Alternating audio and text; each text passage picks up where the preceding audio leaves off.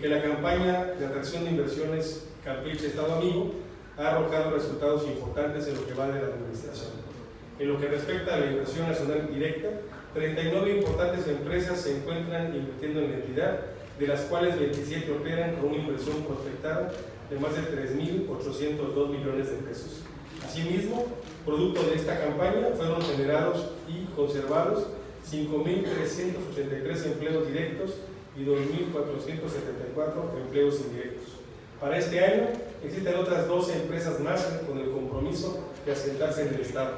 Actualmente se encuentran en construcción de sus instalaciones, trabajos que a su vez generarán 1.644 empleos directos y 4.204 empleos indirectos.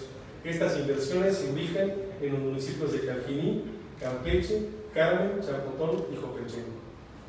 Y en cuanto a la inversión extranjera directa, me permito comentarles que la actual administración ha obtenido un récord promedio anual de inversión extranjera directa, mientras que de 1999 al 2015 el promedio registrado fue de 137.2 millones de dólares. En lo que va de la actual administración, hemos tenido 264.4 millones de dólares registrados ante la Secretaría de Economía Federal en cuanto a la inversión extranjera directa. Esto significa prácticamente el doble de lo obtenido en las administraciones anteriores. Al cierre del tercer trimestre del 2018, se han atendido un total de 75 empresas y 92 proyectos de inversión, tanto nacional como extranjera, y de distintos sectores, destacando principalmente el energético, el agroindustrial, textil, turístico y de servicios.